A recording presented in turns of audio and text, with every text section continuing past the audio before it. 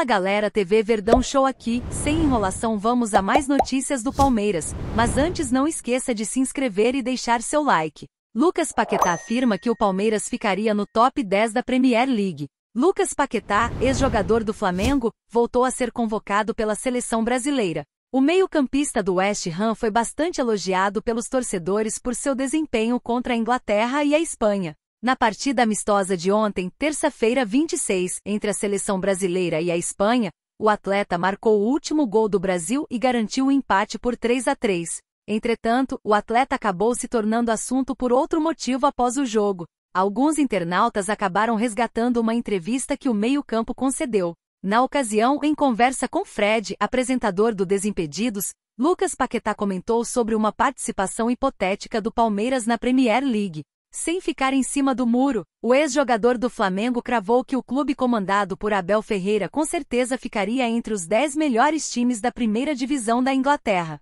O Palmeiras ficaria entre os 10 primeiros, disse o meio-campista da seleção brasileira. Além disso, o jogador ainda comentou sobre a principal diferença entre o futebol brasileiro e o inglês. Após ser questionado sobre a diferença entre o futebol jogado no país tupiniquim e na Inglaterra, Paquetá afirmou que a qualidade dos gramados é o fator que mais se diferencia de uma nação para outra.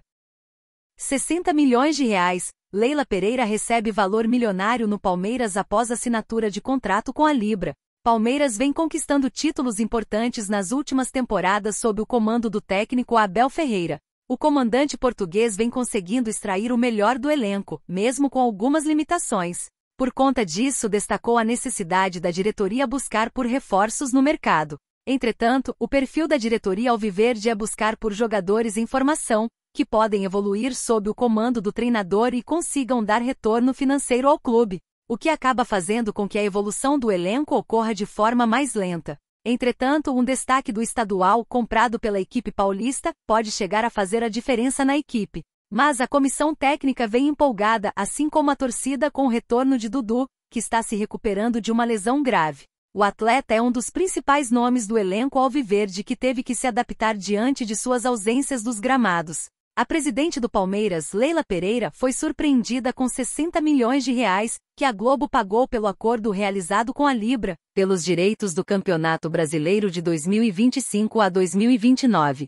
Esse valor que foi pago antecipadamente estava previsto no acordo assinado no início do mês e será descontado do valor igualitário entre as equipes, já que é fixo. Isso porque, pela dívida que ficou acordada em contrato, o valor dividido pela Libra será de 40% de forma igual entre as equipes, 30% de acordo com a audiência e 30% pelo desempenho da equipe, considerando a classificação na tabela da competição, conforme informações do portal UOL.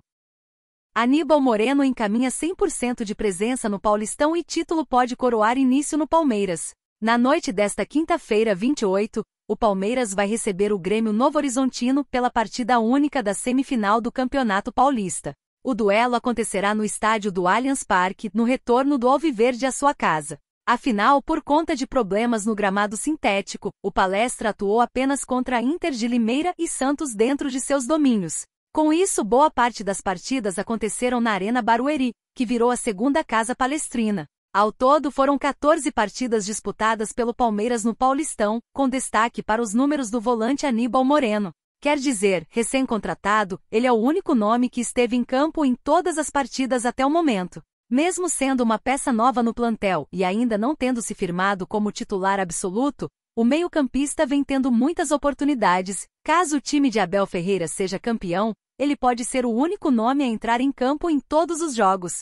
Vale a pena deixar claro que o único time invicto até aqui no torneio, o Porco briga para se manter vencedor e conquistar mais um título sob o comando do português. Caso levante a taça, será o terceiro estadual seguido, algo que não acontece há um longo tempo. Nas últimas duas edições, o Alviverde perdeu apenas um jogo em cada, perdendo a chance de ser campeão invicto. Posto isso, o duelo diante do Novo Horizontino pode colocar o Palmeiras em sua quinta final seguida, o que seria muito bacana para o início de Aníbal Moreno.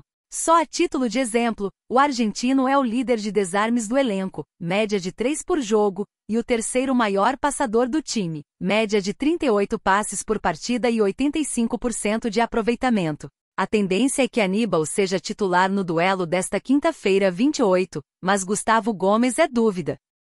Análise: apesar de estar comprado pelo Palmeiras, Rômulo pode surpreender na semifinal do Paulistão.